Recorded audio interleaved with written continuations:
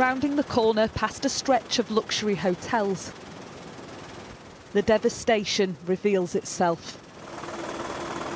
Into the town of Lahaina and the epicentre of the worst wildfire to hit the United States in years.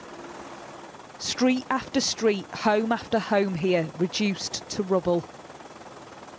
This is where 55 people lost their lives. The search for the missing goes on. This is the heart of Lahaina's downtown. Hotels, restaurants, businesses, completely obliterated. You can see in the distance some of the wreckage still smouldering a couple of days after these wildfires hit, and the smell of the smoke hangs heavy in the air. This here is the harbour area of Lahaina, and this is where many people came to try and escape the full force of the flames.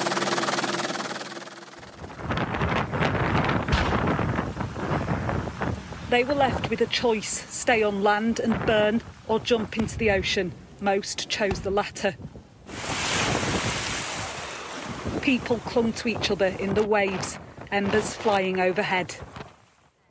Annalise was in the water for six hours with her neighbour Edna. Burns from the flames cover her face. And we were going in and out of consciousness ourselves in the water, and we were both hallucinating. Um, but I just remember holding her hand and telling each other every few minutes, like, Edna, are you awake? Wake up. And, um, and holding each other for warmth. And then we would, um, every once in a while, we would get out of the water and we would go back up towards the fire just to warm our bodies. Was there not enough warning? There was no warning.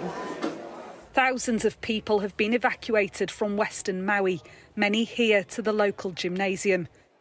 Adam was also in Lahaina when the fires hit. These videos taken from his apartment balcony. Oh, yeah, the. It sounded like a war zone because propane tanks were going off. A lot of it was started in an industrial zone. So you had oxygen tanks, you had, it sounded like fireworks a little bit. He escaped by fleeing to the mountains above Lahaina, but his home and town is gone. It's not just the, the loss of people here, then, it's also the loss of place. Um, it's, it's even more than that. It's the loss of your heart. Like, I don't even know what to do next. So after 15 years of building a life here, where do I start over even?